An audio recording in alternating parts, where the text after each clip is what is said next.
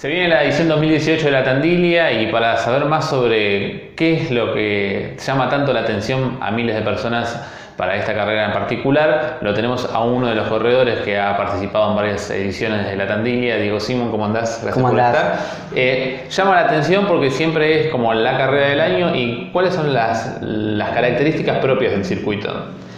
Bueno, Tandilia es una carrera que, llama mucho la atención eh, por el circuito, porque es un circuito muy diferente a lo, que, a lo que es otro tipo de carrera de calle, debido a las subidas y a las bajadas que presenta el circuito.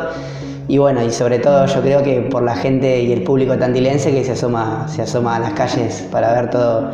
eh, durante estos 11.111 metros la, la carrera esos son, yo creo, los grandes atractivos que tiene, que tiene esta, esta, carrera. Claro, y cuando uno arranca, ¿cuáles son los, como los circuitos o los fragmentos donde vos podés decir, eh, eh, en estos lugares uno debería ir más lento, más rápido? Sí, yo creo que la carrera, si bien tiene la particularidad de que tiene la subida del parque y otras subidas como la de calle Necochea o el fundidor que son muy duras, eh, también tiene mucha bajada y sobre todo yo creo que es fundamental en el comienzo, esos primeros